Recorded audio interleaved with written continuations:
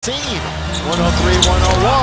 Atlanta can tie or take the lead with a minute to play. A game that the Lakers have dominated. That's a backcourt. That's a backcourt violation. Wow. Lakers will take it. Wow. You talking about getting a gift.